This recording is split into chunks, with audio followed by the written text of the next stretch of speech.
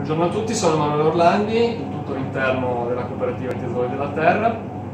Eh, oltre a seguire appunto questa parte del laboratorio di analisi interno del caseificio, eh, seguo anche come tutor i ragazzi inseriti nei progetti di, di alternanza scuola-lavoro.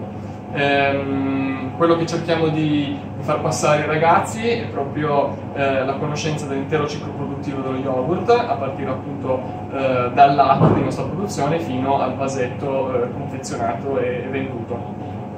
Ehm, ci piace pensare come, come progetto eh, proprio questo, questo, ciclo produttivo intero, dalla terra allo yogurt, come nasce uno yogurt sano, biologico eh, e solidale proprio perché la nostra cooperativa è una cooperativa sociale agricola che si occupa appunto di inserimenti lavorativi di soggetti eh, svantaggiati.